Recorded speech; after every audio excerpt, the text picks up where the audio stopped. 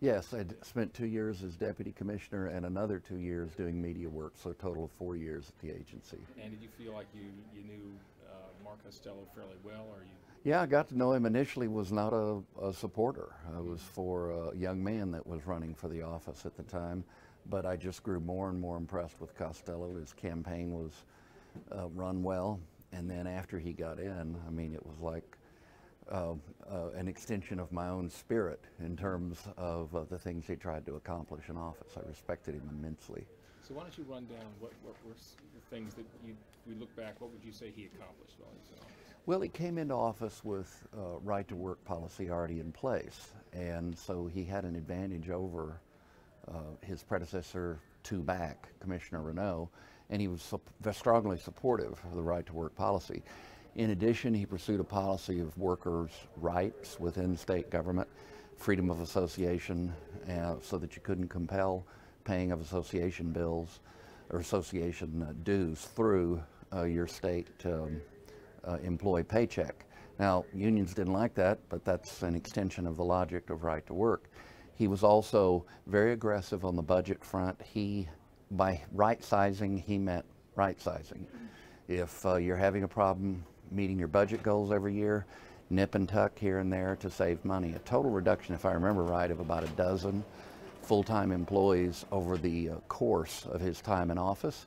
And I think that was entirely uh, merited because they could do the job with uh, fewer people, which brings me to his use of high-tech computers, uh, GPSs, uh, cell phones for the people in the field doing the very important work of inspections and working with business and with others, with workers in promoting safety.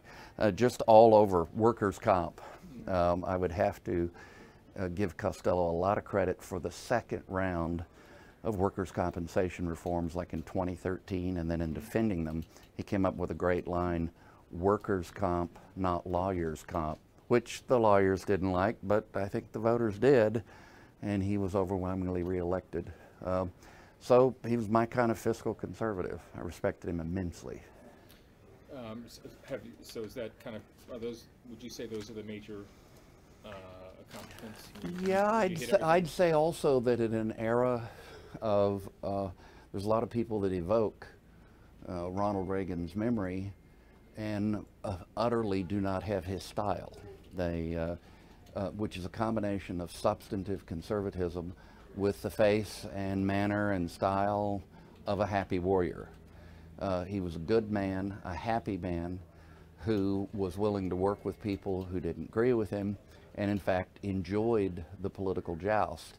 Uh, I was touched that one of the nicest uh, comments after his passing came from the House Minority Leader Scott Inman, who did not agree with uh, Mark Costello on certain issues, but considered him a friend and respected him for his integrity. This was a man without malice and who ran the agency in a way that was completely above board, paid a lot of his expenses out of his own pocket. He was, you know, a successful businessman in the private sector, and when he entered it into public service, never looked at it as a way of feathering his nest.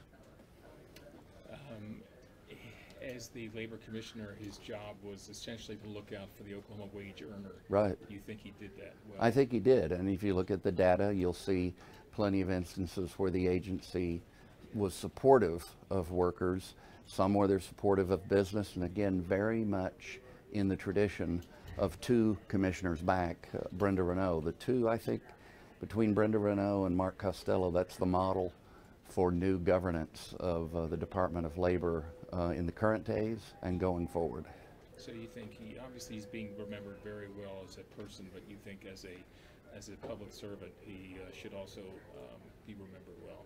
Well, absolutely. 2010, he talked about right sizing and he meant it.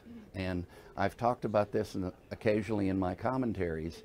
Uh, the era of conservative Republicans running and saying they're for making government smaller and then setting out to make it bigger is, I hope, beginning to be over.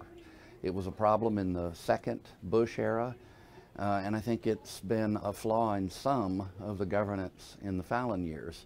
This guy did not grow government. He made it smaller, and he did the job even better than the agency was doing when he came in.